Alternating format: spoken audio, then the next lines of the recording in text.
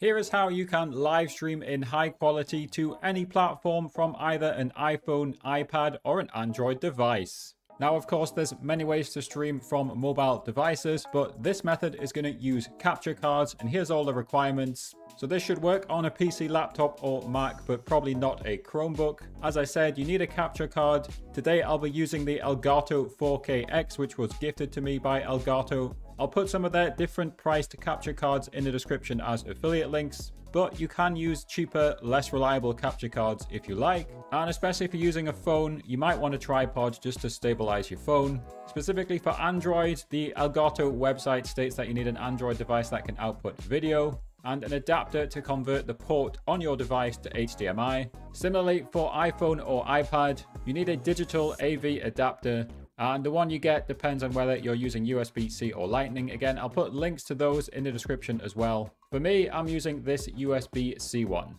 So I will start just by plugging the adapter into my phone. As you can see, there's an HDMI port on this. So I'll just plug in an HDMI cable into one end. And here's my 4KX. I'm going to plug this carefully into HDMI in and make sure it's not plugged into out. And actually, we don't need the out option for this. We just need to plug USB-C into one end and the other end of the USB-C goes into your computer. And in the description, I'll put this website. We need to download the correct capture card software. So what you basically just do is scroll down a little bit. If you know what you want, then just press download, but you can click on select your product, find the correct capture card. For me, I'll click on the 4KX and it just suggests the correct one. Of course, if you're using a different capture card, download the relevant software and then just unlock your phone and open your capture utility. And you should see your phone just like that. And if you want to, in Elgato, change the settings, open the preferences in the top right. And you can go through any of these settings, especially if you want to record. For me, I've set mine to to record in 4K 60.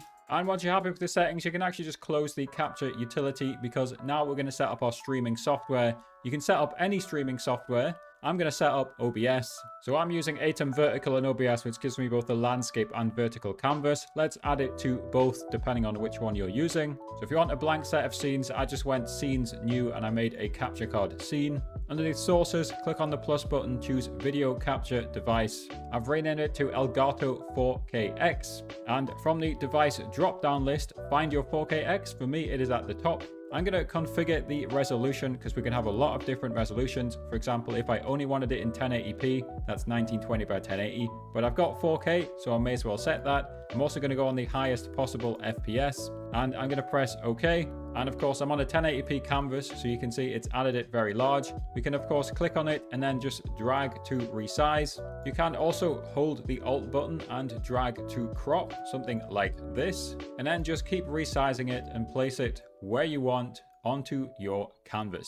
It is a similar method to add it on the vertical canvas. So behind me, behind my chair, press the plus button. I'm clicking video capture device. You either press new or if you've already added it, then just choose it from the list. And once again, I'm going to have to resize it again because I added it in 4K. So just move it around until you've got it where you want on the screen. One unfortunate thing these days is most phones are not actually 9 by 16 dimensions. So usually the top or bottom of the screen is cut off. As you can see here, with Clash, the top of the screen is kind of missing. Now, if you look at my OBS here, you can see the volume bars moving up and down. And this enables me, if I had my headset on, to hear the game through my computer and of course, it lets your viewers hear the game or whatever else you're screen sharing. So this is important. Click the three dots or right click advanced audio properties. And if you want to hear it through the computer as well, switch it to monitor and output and press close and now both you and the viewers can hear it. If you just want the viewers to hear it, you can just leave it on monitor off.